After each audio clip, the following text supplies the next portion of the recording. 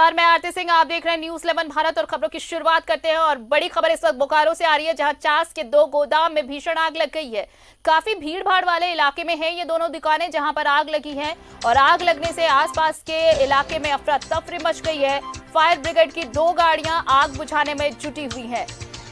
तो चास में ये आग लगी, दो दुकानों में दो गोदाम है ये, जहाँ पर ये आग लगी है। आग किस वजह से लगी, इसका पता नहीं चल पाया है।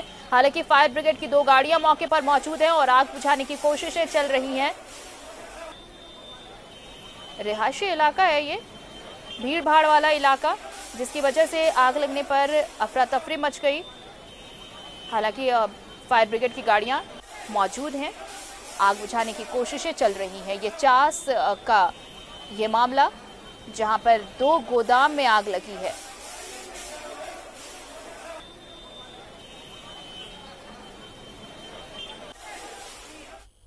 और ज़्यादा जानकारी लेते हैं सहयोगी सुरेंद्र से। इस वक्त हमारे साथ फ़ोन लाइन पर जुड़े हुए हैं। सुरेंद्र, कैसे लगी ये आग और क्या आग पर काबू पाया गया अब तक?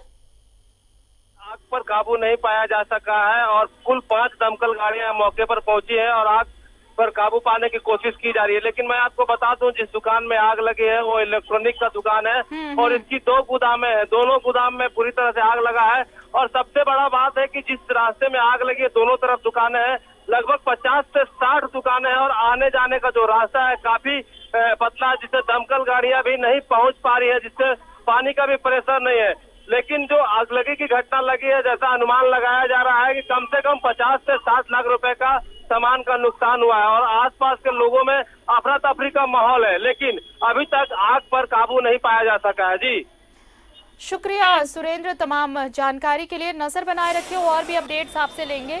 तो ये बोकारो चास की घटना, जहाँ पर दो गोदाम में आग लगी है, और ये इलेक्ट्रॉनिक्स की, इलेक्ट्रॉनिक्स गोदाम है, दोनों गोदाम जहाँ पर ये आग लगी है।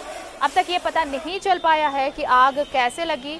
हालाँकि काफ़ी नुकसान की आशंका जताई जा रही है इस अगलकी में।